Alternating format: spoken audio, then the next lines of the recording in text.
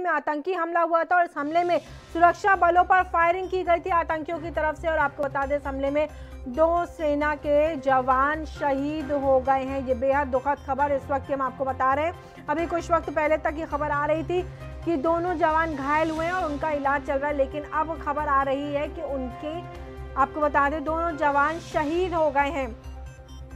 पाकिस्तान बार बार नापाक हरकतें करता हुआ गोलीबारी में आपको बता दें, सेना के दो जवान शहीद हुए हैं।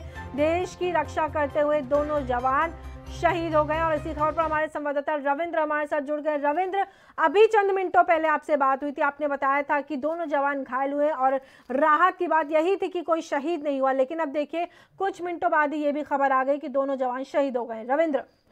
जी बिल्कुल। देखिए जो प्राथमिकता में पहले खबर आई थी उसमें यही खबर आई थी कि दोनों जवान जो हैं वो गंभीर रूप से घायल हुए हैं और इनका इलाज जो है अस्पताल में चल रहा है। लेकिन अभी थोड़ी देर पहले खबर आई है कि दोनों जवान जो हैं वो शहीद हो चुके हैं। आ, मैं आपको बताऊँ कि आ, पाकिस्तान द्वारा पाले गए जो आतंकी हैं वो लगातार कश्मीर जी इन तमाम जानकारियों के लिए रविंद्र आपका बहुत बहुत धन्यवाद।